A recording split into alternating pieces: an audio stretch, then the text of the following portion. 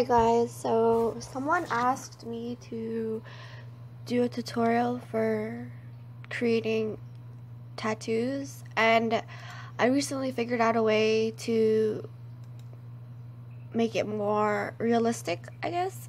And it's an easier, faster way to make tattoos. So you're gonna need five programs or five items on this list to do this or to follow this tutorial. So the download links will be available below.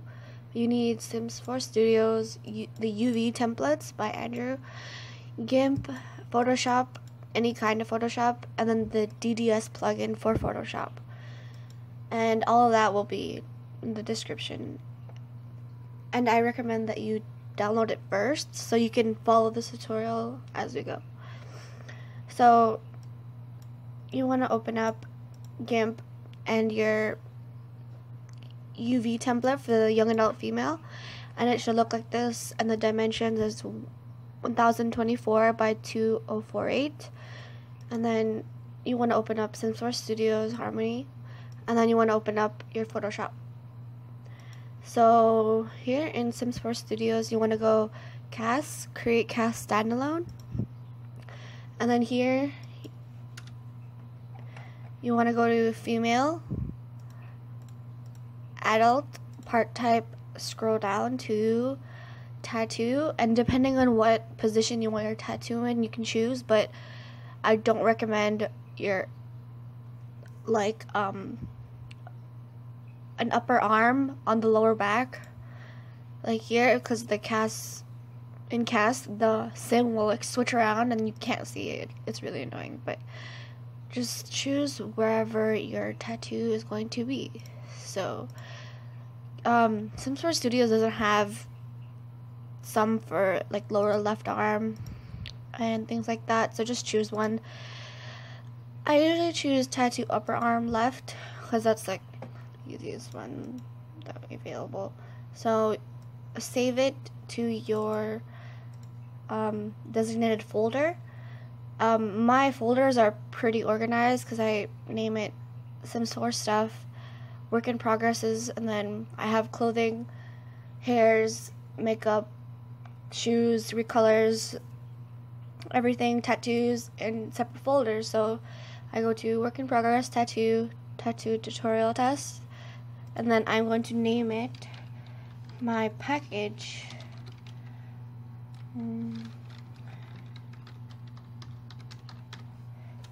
Um, name it, I recommend that you name it in brackets your name or your brand name or something so people can in case people do lookbooks or something they need to look back on who created it right? Okay. I don't know that helps me figure out who made who. I mean who made what. So here scroll out and this is how it's gonna look like um, depending on your computer this sim won't render as well. I know on my laptop it renders horribly, but on this computer it actually renders pretty nicely. So this is the original tattoo. So what we're going to do is go on the right side of this this, the screen and export the diffuse, the texture and you can see it's here. So export it and then name it original. And you can name it PNG because we're not going to be using it for the final. We just need a guideline. So this is our guideline.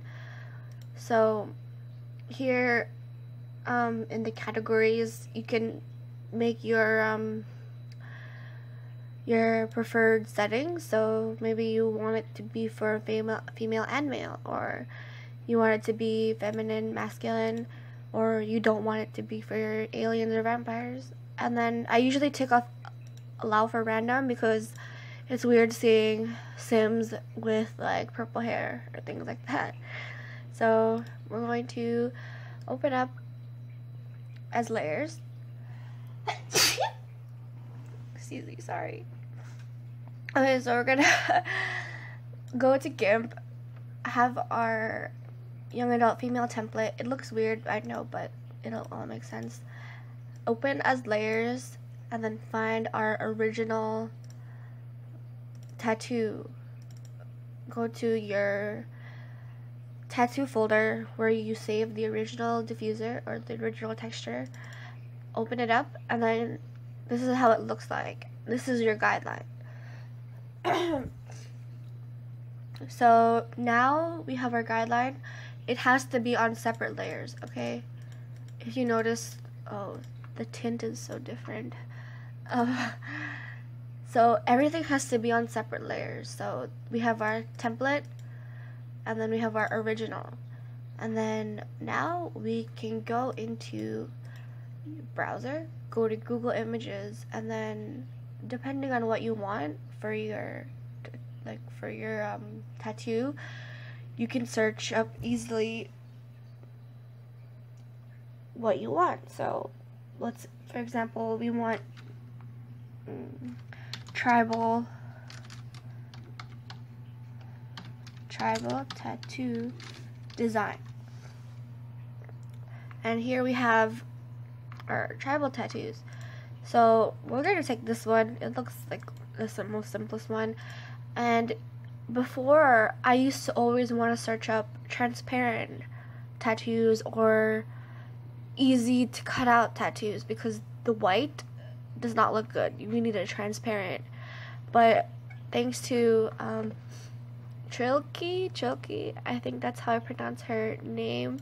But she was super helpful and she helped me with this really helpful um, method to get rid of the whites and I think it's very effective and I just want to thank her for that because she's so lovely and I will include her Tumblr down in the description so you can look and she makes like beautiful CC. Anyway, anyway, so we're going to copy this image and we're going to go back to our GIMP file and then we're going to control V or edit paste as new layer.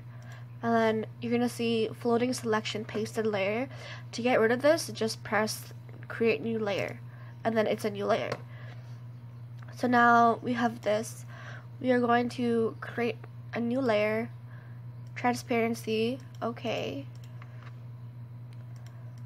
Oh, uh, okay. So right click it the transparent layer and then merge down. And now it's like it's it's instead of a, a little box it's the whole photo. Photo size yeah photo size.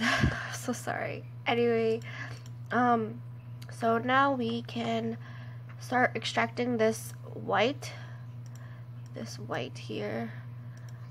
And we just go to colors color to alpha and then make sure the white is selected from the color. So white gets rid of the white, but then if you do black, it gets rid of the black and it leaves the white. That's how it's to look like. So we don't want that. So we're going to do color, color to alpha, white, and then press OK. And we have our transparent tattoo. So now place it where you want it and I'll just put it there on the left arm. Or right I don't know but so now we just delete this original layer. So now this is um how it's gonna look like. This is our tattoo and depending on where you want it, it the bigger it is, the more spread out on the body it's going to look like. So I'm going to just resize it a little bit. And here, this is our scale window. So this is our width height. And we need to change this because because because right now it's unlinked you can resize it like like that and it won't size together so we're just going to click this god, it's not working. Okay. And then now we can scale it and it'll it won't change um proportions. it'll keep the same dimensions and it won't stretch out it won't look weird so now I am pretty satisfied with this so we are going to create a new layer again transparency merge down delete the young adult female with this button here. And then file export as go to your tattoo um, folder again and then name it as new texture. Or you can name it whatever you want as long as you remember it and you can differ between the original and the new one. So now we go to here and then we go to Photoshop open up your diffuser I mean your texture. Um, tattoo tutorial test our new texture and then here we have it. And um, it looks a bit weird so we're just going to edit the adjustments. Wait what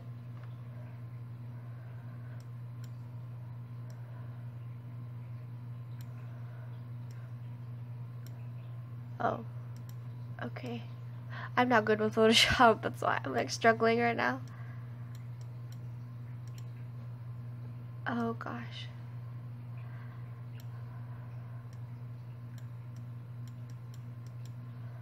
How come it's not? Okay, hold on. Just copy.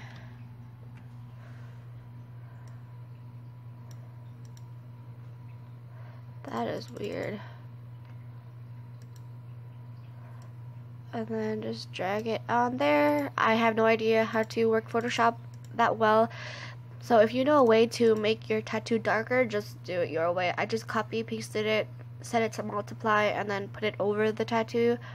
And then you can change the opacity. But I want it to be darker. And then you can do merge visible. If you do flatten image, it'll create a white background and we want a transparent one because if there is an image around the tattoo the whole sim will be white and it's not a good time. So now we're going to do sharpen. You can do sharpen in GIMP, but sharpen in Photoshop is stronger and more like high res than in GIMP. And then we're going to do save as. In our tattoo tutorial test folder, we're going to save it as DDS here. So go to format DDS, save, and then we're going to do D DXT5 interpolated alpha. So save, and it should be saved. And we're going to import, and then here in the file name below, we're going to put dds.dds, and then we're going to open up our new texture. And here we have it. It looks weird because I put it up on the shoulder, and that's where it start. It clips like it just looks weird. So we're going to go back and then we're going to drag it down a bit. And then we're going to save it as DDS again. Save. And then I'm going to import it again. And there, it looks better now. So now we have our new arm tattoo. And if you import your texture as PNG and you have a custom thumbnail, it won't look right in game. It will have a checkered white and red, I think, all over the sim and it's all wonky. So I suggest you delete it and then make sure you have a DDS texture file imported and then make sure your settings are correct and you are finished. If you need help making like tattoos or you want more personal help with it, like one-on-one talk talk about it, um, I'm always open to talking. I can always help if you have any troubles or questions. So yeah, thank you for watching. If you have any questions, feel free to ask. I will answer them. Have a great day. I'm so sorry I suck at this.